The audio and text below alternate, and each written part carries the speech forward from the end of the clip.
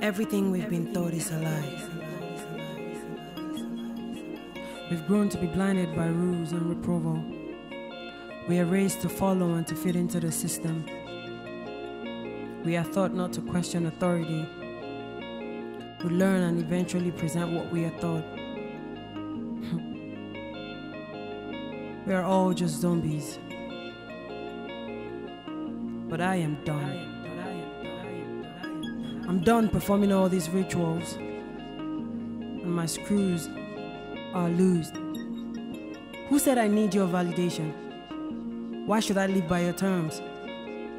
Why is my value based on your notion? Why must I conform? Why do you get to decide? Why don't I get to choose?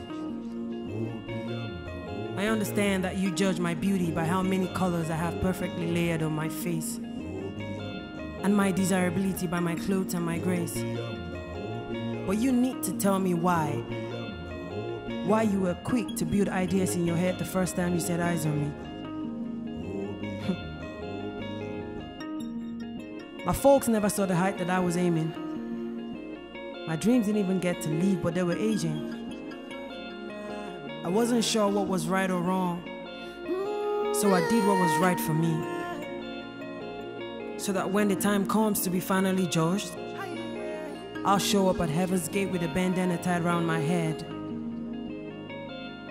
I will wholeheartedly accept my deeds and hope to be rewarded for my sins. My name is Biwom, and these are my confessions.